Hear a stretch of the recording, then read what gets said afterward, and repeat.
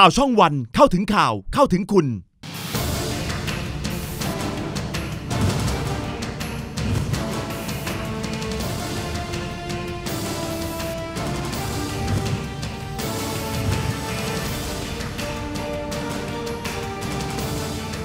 ถือเป็นสิ่งที่เกิดขึ้นในวันนี้เป็นเรื่องใหญ่ในแวดวงการเมือง ประเทศไทยจะเดินหน้าต่อไปอย่างไร นี่คือจุดบุญหมายตั้งแต่ต้นนะครับ ให้คุณผู้ชมดูอย่างเร็วๆ ใช้เวลาไม่นานครับ นี่คือสิ่งที่สารรัฐธรรมนูญวันนี้ท่านชี้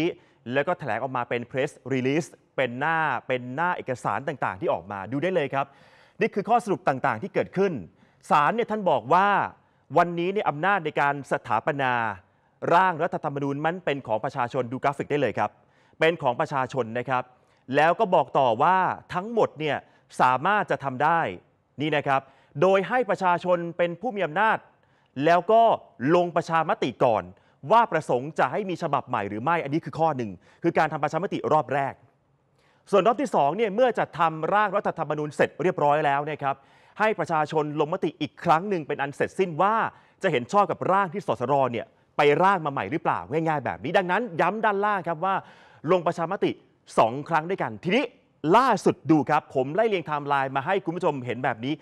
นี่คืออนาคตประเทศไทยนะครับ นับจากวันนี้เป็นต้นไปดูพร้อมกันว่า จับตาดูแบบนี้ที่ไทม์ไลน์ครับ วันนี้ 11 มีนาคมศาลท่านชี้ แล้วก็มีคำวินิจฉัยออกมาดูต่อครับ วันที่ 17 มีนาคม ตอนนี้สภากำลังพิจารณาอยู่ในวาระที่ 3 วาระที่ 3 คือการรอลงมติว่าจะเห็นชอบด้วยกับการแก้ไขที่ผ่านมาหรือไม่นะครับ 17 มีนาคม ดูต่อครับ ถ้าสมมติผ่านไปได้ จะมีการลงประชามติในรอบที่ 1 ถ้าผ่านไปเสร็จปุ๊บนะครับ จะต้องนำไปสู่กกตดำเนินการให้มีการเลือกตั้งสสร 200 คนตามร่างรัฐธรรมนูญที่มีการแก้ไขไป ดูต่อได้เลยครับ เมื่อเสร็จสิ้นเรียบร้อยเนี่ยจะต้องให้ได้สสร หรือว่าสมาชิกสภาร่างรัฐธรรมนูญให้แล้วเสร็จนะครับ ภายใน 90 วันหรือว่า 3 เดือน เพื่อที่จะมาจัดทำร่างรัฐธรรมนูญฉบับใหม่ และ ร่างรัฐธรรมนูญฉบับใหม่ จะใช้เวลาประมาณ 240 วันไม่เกินนี้ครับ 240 วันก็คือ 8 เดือนเต็ม ดูต่อครับ ถ้าเสร็จสิ้นเรียบร้อย ก็จะต้องส่งให้รัฐสภาหมายถึงสสสว อภิปรายโดยไม่มีการลงมติให้แล้วเสร็จภายใน 30 วัน หลังจากที่ร่างเสร็จสิ้น ดูต่อครับ ถามว่าเสร็จหรือยังยังครับ จะต้องมีการทำประชามติรอบ 2 โดยสั่งการไปที่กกตกกตจัดให้มีการลงประชามติรอบที่ 2 ว่า ร่างที่เขาร่างมาเนี่ยจะเห็นชอบโดยประชาชนหรือไม่ จากนั้นก็ยังไม่เสร็จนะครับ